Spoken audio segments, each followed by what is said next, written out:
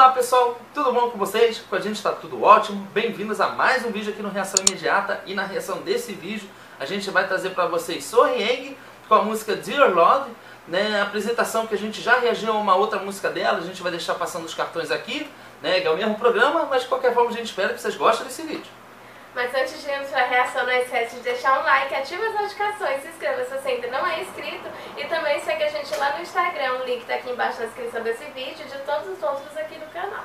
Bom, a gente já falou o que tinha que falar aqui, vamos ao que interessa, porque a Sorreng é uma artista sensacional e a gente está super curioso para saber como ficou essa música. Então, bora reagir!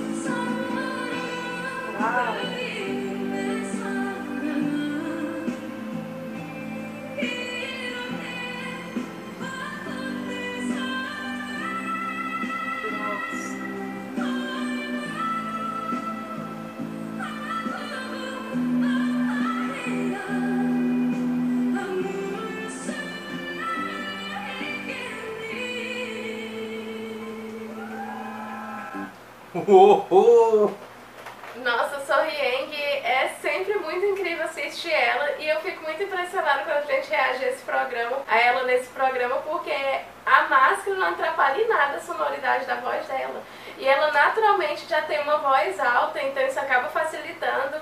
E essa primeira parte da música, por enquanto, ainda está muito contida, só que ela tem uma flexibilidade na voz muito grande que acaba fazendo com que o, a forma como ela utiliza a voz dela nesse primeiro trecho fique de uma forma muito cheia de transições. Porque em certos momentos ela está usando muita voz, mi, é, a voz de peito, só que ela também utiliza muita voz de máscara. E quando ela vai fazer essas transições, ela faz de uma forma muito suave. Acredito que seja também pela questão do próprio arranjo da música ser bem sutil, né? O que acaba também dando mais ênfase ao vocal dela. E é legal ver que é, você falou sobre a voz de peito e realmente é verdade.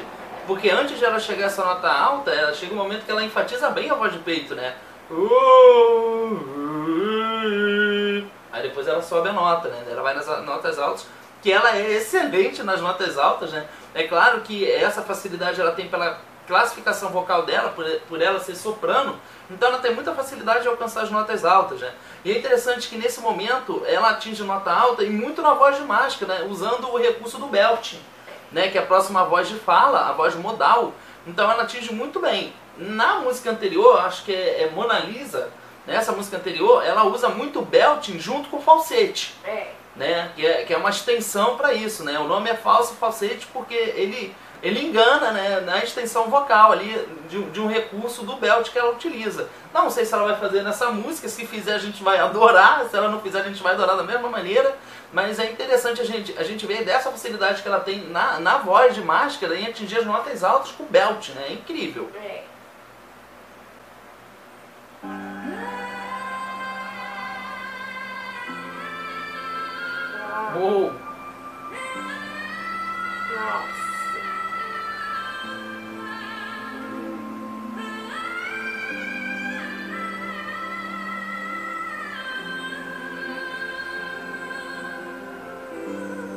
Fez o falsete. É, bem rápido.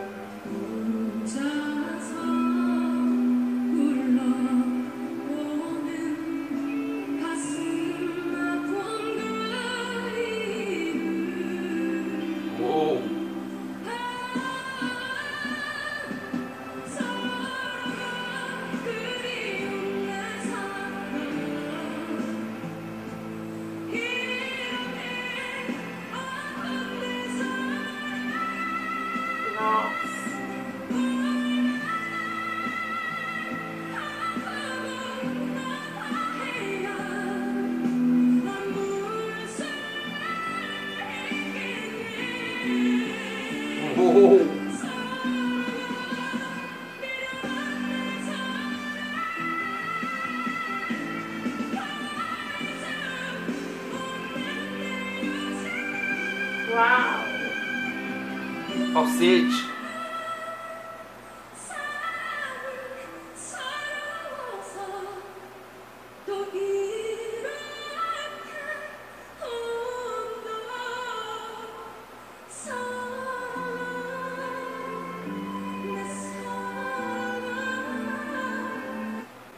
Gente, ela é incrível!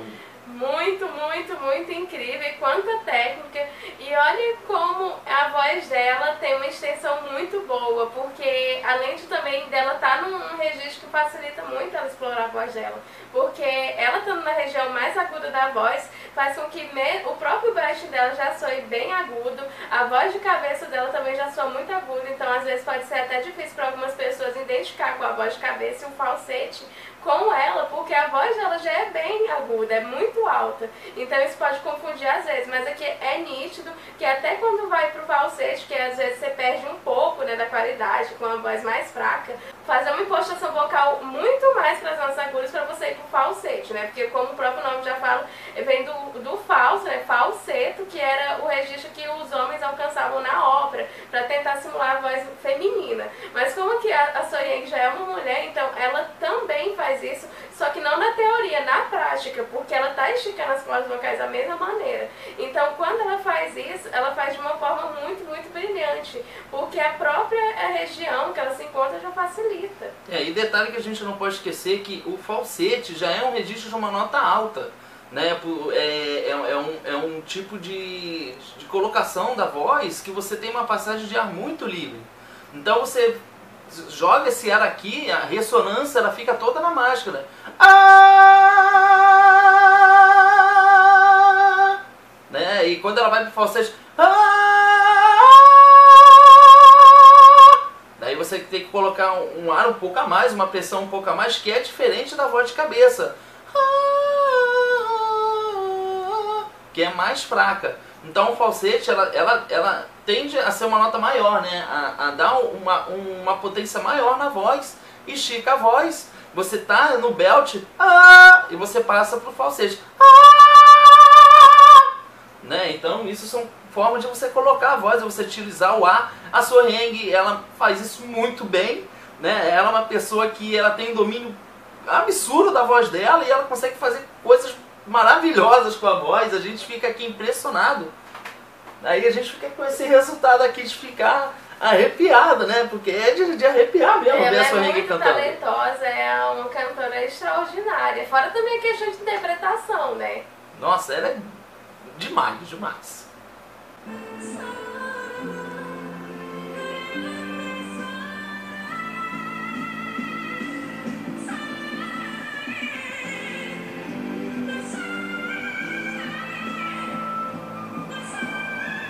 Oh,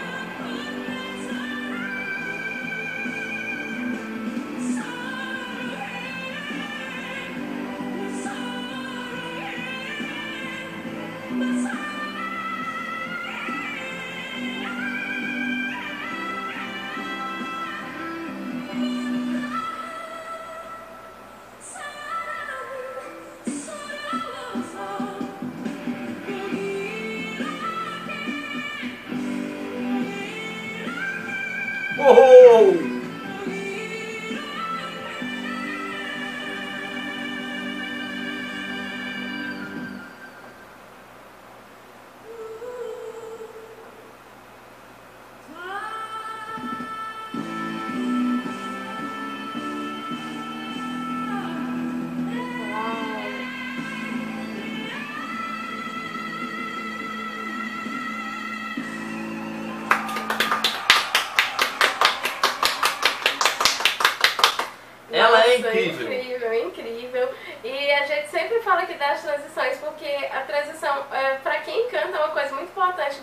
Saber fazer essas passagens, porque quando você precisa colocar uma coisa mais sutil, é, se você mudar esse arranjo vocal e colocar de uma forma mais brusca, não vai ficar uma coisa muito bonita, né? Na questão sonora.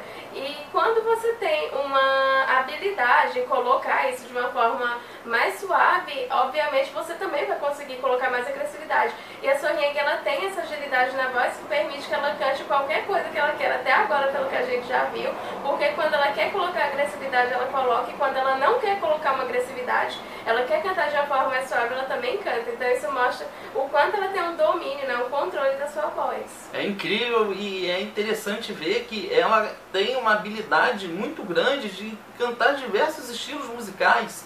Que, é claro que a gente acompanha a Sohyang já, a gente já acompanha há um tempo, né?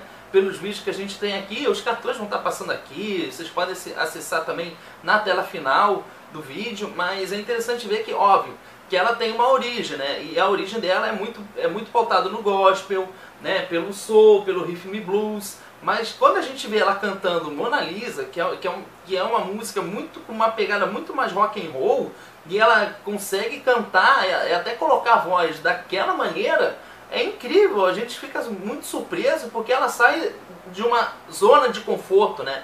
E eu, eu coloco zona de conforto dessa maneira porque ela ainda está confortável cantando esse estilo musical. Então olha a flexibilidade e a condição que ela tem de cantar em, em, em outras áreas musicais, né? E utilizando essa maravilhosa voz que ela tem, porque ela é incrível. É, sei lá, a gente fica até sem ter mais o que falar aqui, porque né, a sua Yang é divina, né? tem, tem uma voz impressionante, uma capacidade incrível, incrível, gente. Bom, gente, mas essa é a nossa opinião. Agora a gente quer saber a sua opinião. Então comenta aqui embaixo o que vocês acharam dessa apresentação da Yang. Fala pra gente qual é a preferida de vocês desse programa né? Porque a gente viu essa música e, e Mona Lisa também, a gente ficou surpreso com ela cantando Mona Lisa, que até difícil a gente saber qual é a melhor opinião pra gente. E deixa sugestões aqui também, a gente aceita sugestões não só desse programa, como qualquer outra apresentação da Sorrieng. Bom, a gente vai ficando por aqui, a gente espera que vocês tenham gostado desse vídeo e a gente se vê no próximo React. Tchau!